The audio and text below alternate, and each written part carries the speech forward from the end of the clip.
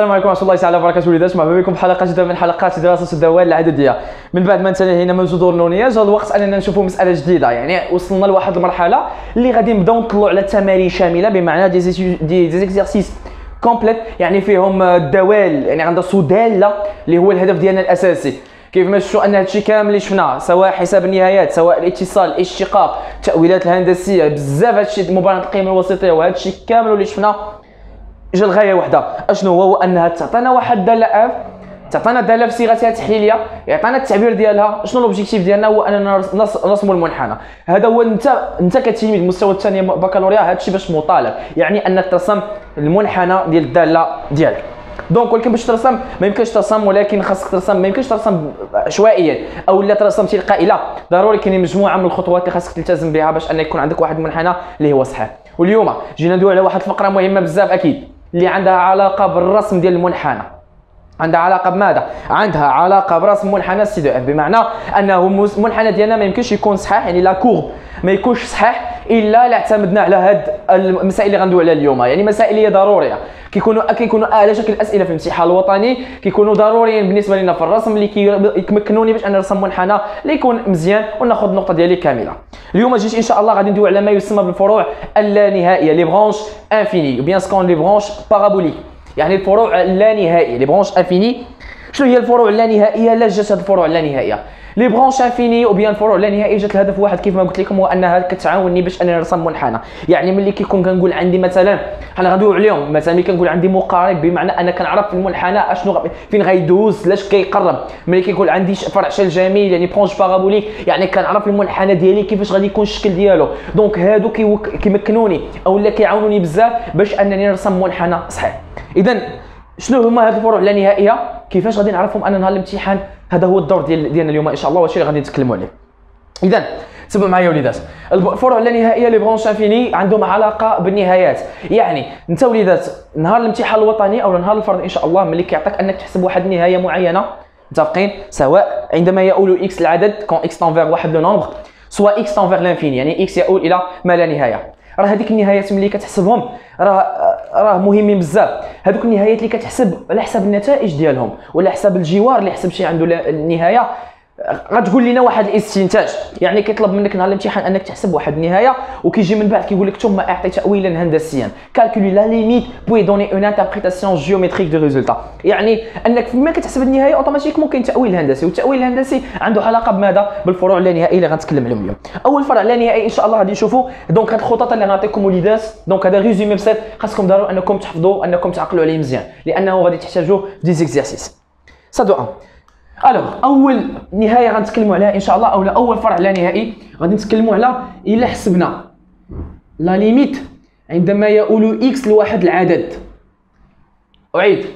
نهاية. عندما يؤول إكس العدد. إكس العدد. ديال واحد الداله f de x متفقين؟ ديال واحد الداله f de x والنتيجة. النتيجة اللي عندي أشنو كانت؟ كانت سواء plus l'infini أو لا كانت moins l'infini أعيد. النهاية اللي حسبت عندما يؤول x العدد ديال الدالة f de x. النهاية اللي عطاتك عطاتك plus l'infini أو moins l'infini يعني عطاتك l'infini الاستنتاج اللي غادي تقول لنا هو على الشكل التالي. غتقول لنا أن ال C de f يقبل مقارب معادلته إكس كتساوي ا إكس كتساوي ا بجوار زائد ما لا نهاية أو لا ناقص ما لا نهاية. أعيد. حسب شي la limite. ديال واحد الداله عندما يؤول x العدد quand x tend vers واحد le nombre a. وعطاتك ال résultat عطاتك l'infini عطاتك زائد ما لا نهاية أو لا ناقص ما لا نهاية. الإستنتاج اللي غادي تقول لنا اللي عنده علاقة بالتاويل الهندسي أن ال C de f يقبل مقارب معادلته x كيساوي a أو لا x كيساوي a مقارب ل C de f أعيد. x كيساوي a مقارب لل C de f بمعنى أن C de f يقبل مقارب معادلته x كتساوي a. هذا المقارب كي غادي يكون bien sûr غادي يكون عمودي. donc أنت ملي كتقول لي أن x كيساوي a أنا كنعرف automatiquement أن les x هما هذوك المستقيمات. ها أنت؟ مثلا عندك هذا هو المنحنى ديالك. ملي كتقول لي مثلا أن x كتساوي فرضا انها كتساوي 3 ها a 3 ياك؟ ها x كتساوي 3 هذا هو المستقيم اللي المعادله ديالو x كتساوي 3 إذا ما يمكن له يكون إلا لا يكون عمودي. يعني سواء قلتي عمودي أو لا ما قلتيهاش راه يكفي. أن الأستاذ يكفي تكتب لي أن x كيساوي a راه كيفهموا أنه راه راه واحد المستقيم أو واحد المقارب اللي هو عمودي. متفقين؟ donc بالفرنسي بالنسبة للناس ديال BIOF C de f admet une asymptote d'équation x égale a ou bien x égale a asymptote de C de f متفقين au voisinage de plus ولا bien moins infini على حساب ال résultat اللي تعطيني ça d'une هذا أول ملاحظة خصنا نديرو أو أول فرع لا نهائي اللي غادي نشوفه. المساله الثانية إن شاء الله. إلا فرضا حسبنا هذه المرة x كيساوي a سالينا مع العدد. عندما عندما ملي كيكون الجوار هو العدد سالينا معاه. donc شنو بقى لنا بقى لنا أن ندوزو لجوار آخر اللي هو فرضا أننا حسبنا la limite. de plus ولا ديال moins l'infini مهم ديال l'infini limite ديال l'infini متفقين؟ شنو عطات ديال الداله f de x شنو عطاتنا؟ فرضا أن هاد limite غادي نتناقشوا. فرضا في الحالة عطاتنا جوج ديال الحالات. فرضا أن هاد la limite هادي اللي عندك هنايا عطاتك واحد العدد غنسميوه b متفقين؟ عطاتك عدد غنسميوه b أنا سميتو b غير باش ما يوقعش واحد الخلط ما بين a اللي عندنا في الأول. فرضا سميناه b. أش غادي نقولوا في الاستنتاج الاست... لا عقل. limite x تؤول إلى ال infini. x tend vers l'infini ال résultat عطاتك عدد. أش غتقول لنا غتقول لنا أن ايكغاك هاد المرة هادي كيساوي b مقارب لل C de f. مقارب لل C de f بجوار plus ولا moins l'infini. على حساب فين حسبتي انت ايكغاك كيساوي هذا العدد هذا مقارب لل C de f بجوار l'infini يعني حسب شي limite في ال infini عطاتك عدد ها اللي الاستنتاج اللي غتقول لنا المساله الثانية نفترض أن هاد ال limite هادي ما عطاتكش عدد وإنما عطاتك حتى هي إما plus l'infini إما moins l'infini متفقين هاد limite عندما يؤول x لا plus ولا moins l'infini ديال f de x ما عطاتنيش عدد اشنو عطاتني عطاتني l'infini la conclusion في هاد le cas ما عندي ما نستنتج أنا مضطر أنني نزيد واحد الخطوة أخرى ونحسب la limite عندما يؤول x إلى plus ولا moins l'infini ديال اش ديال f de x على x limite عند ملي تعطيك هاد ال limite هذه اللي كتشوفها شوف شوفها شوفها مزيان. اي plus ولا moins l'infini ديال داله f de x. عطاتك l'infini ما غتستنتج والو. باش تستنتج خاصك تزيد. نشوف انت غتزيد هذيك l'étape من عندك. متفقين هو bien sûr الامتحانات الوطنيه كيقولوها لينا mais باش تعرف شنو كدير تحسب ال limite في l'infini. تعطيك l'infini زيد خطوة أخرى. شنو هي؟ la limite في l'infini حافظتي على ال voisinage. mais هاد المرة هذه la fonction اللي تبدلات. هاد المرة f de x sur x. f de x sur x. et on distingue 3 ديال les cas ملي كنحسبوا واحد limite شحال من نتيجة ممكنة؟ النتيجه واحد النتيجه رقم جوج النتيجه رقم ثلاثة. فرضا أنه هاد النتيجة هادي شنو عطاتنا؟ فرضا هاد ال limite اللي حسبتيه هنايا هاد ال limite هادي اللي حسبتيه عطاتك zéro. أو لا تقدر تعطيك l'infini. أو لا تعطيك واحد العدد سي اللي كيخالف zéro. حنا غير باش كنميزو عقل مزيان. هاد ال limite اللي حسبتي هنا يا إما ديال f de x على x شحال من نتيجة ممكنة؟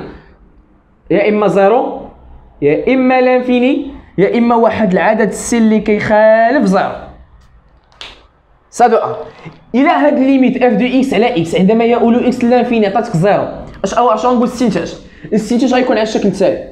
أن ال C de f يقبل ماذا؟ يقبل هاد المرة هذه فرعا شلجميا في اتجاه في اتجاه محور الأفاصيل بجوار. على حساب فين؟ حسبت حسبتي في plus l'infini غتقول لي plus l'infini حسبتي ب moins l'infini غتقول لي بجوار moins l'infini C de f يقبل فرعا شلجميا في اتجاه محور الأفاصيل بجوار plus ولا moins l'infini بالفرنسي بالنسبة للناس ديال BIOF. C de f admet. une branche branche parabolique de direction l'axe des abscisses ou bien de direction Ox يعني محور الافاصيل au voisinage de plus ou bien moins l'infini متفقين؟ يعني ما معنى أن ال C de f هنا بالشرح بالنسبة للمقاربات ما معنى ال C de f يقبل المقارب بمعنى أن المنحنى ديالي كيقرب لهذاك المستقيم. ملي مثلا بجوار plus l'infini هنا المنحنى ديالي غيقرب لهذا المستقيم. ça donne. من هنايا شلجميا ما معنى فرع شلجمي بمعنى أن المنحنى ديالي غادي ياخذ شكل شلجم فين؟ بجوار على حساب فين حسبت؟ إلا حسبتي إلا لقيتي الا حسبتي في plus l'infini إذا المنحنى ديالك غادي ياخذ شكل شلجم plus l'infini. حسبتي عطاتك moins l'infini؟ أو لا عطاتك عفوا. حسبتيها في moins l'infini غادي الشكل المنحنى ديالك غادي ياخذ شكل شلجم فين؟ في l'infini. يعني في moins l'infini فين حسبتي؟ très bien ولكن الاتجاه ديالو هو محور الافاصيل. يا إما غيكون فوق يا إما غيكون لتحت يا إما من الجهه الاخرى متفقين يعني على هذا الشكل هذا غادي يكون. كمثال بسيط يعني المنحنى غادي يكون على الشكل يا إما هكا يا إما هكا يا إما هكا يا إما هكا.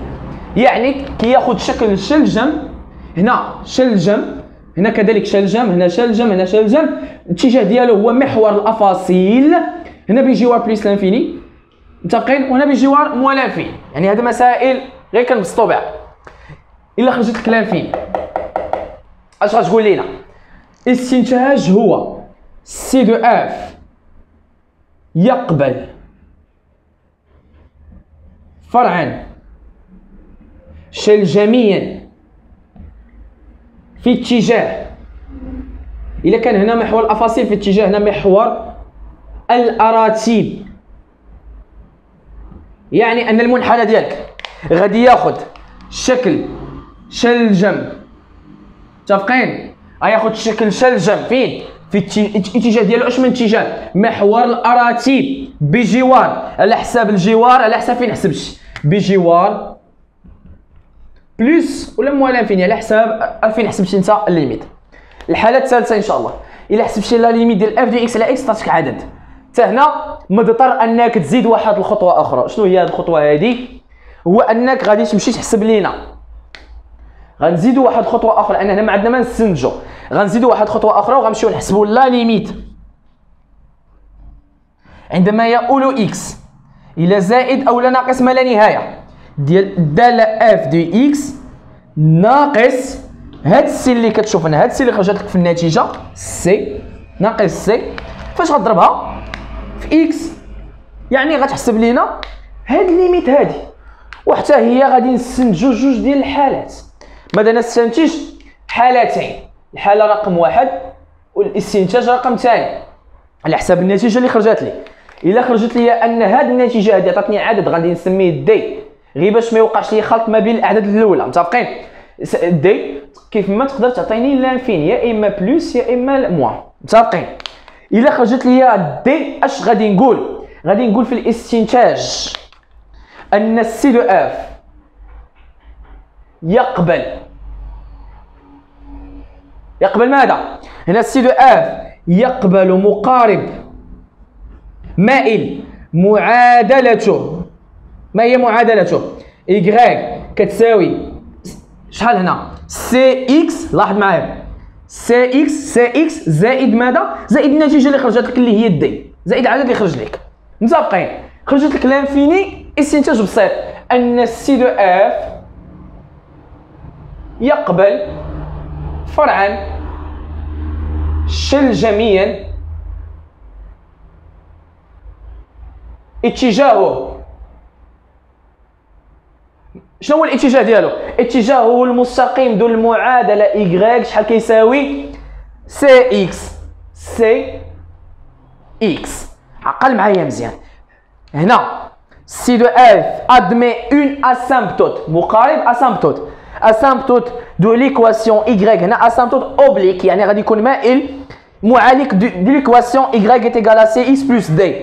الا عطاتك هاد النتيجه هاد ال limite هادي عطاتك l'infini غادي C de f admet une branche parabolique de direction y égal à cx. يعني غتصمم المنحنى c c cx أو عفوا غتصمم المستقيم cx والمنحنى ديالك غادي ياخذ الشكل الشلجم في الاتجاه ديالو متفقين مزيان donc هاد الخطط وليدات نتوما مطالبين انكم تعقلوا عليها مزيان لأنها إيه كنفهموها حنا فهمنا أن كل حاجة واضحة.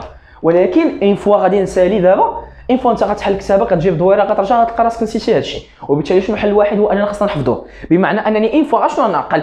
نعقل غير هاد الحوايج أنا فين حسبت ال limite والنتيجة اللي خرجت لي والتأويلات. لأن هادو مسائل هادو ما كيتش أش غتفهم فيهم أكثر؟ كيتحفظوا بحال هاد القواعد. هاد الحويجات هادو كيتحفظوا. انت مضطر أنك تحفظهم. لأن ملي كتحفظهم صافي كتولي في ال pratique.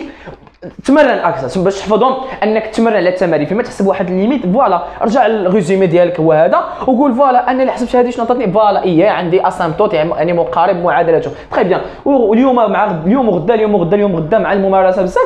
donc إنت هذه المسائل غتولي عندك اعتياديه كنتي بغيتي تغيز عندك كما كنقولوا حنا تغيز الشغل هو أنك تحفظهم من الأول وتعقل على كل حاجة كيفاش كنتعاملوا معها donc هاد الفروع اللانهائيه وليدات زوينين بزاف أو وظيفتهم مهمة بزاف. فاش كينفعونا؟ كينفعونا فاش انني نرسم منحنى ملي كنقول هنا مثلا يقبل مقارب بمعنى أنك عارف المنحنى ديالي راه كيقرب من هذا المستقيم. فين؟ ف l'infini هنا مثلا عنده فرع شلجمي كنعرف أن المنحنى ديالي غياخذ شكل شلجم ف l'infini؟ الاتجاه ديالو هو محور الأفاصيل إلا كان إلا كان zéro يعني هاد الحوايجات هادو كيعطيوني واحد النظرة على المنحنى كيفاش غادي يكون. وكيسهلوا عليا بزاف الرسم. متفقين وليدات. إذا وليدات وصلنا لنهاية هذا الفيديو هذا. كنتمنى الملخص يكون عجبكم. ما تنساوش.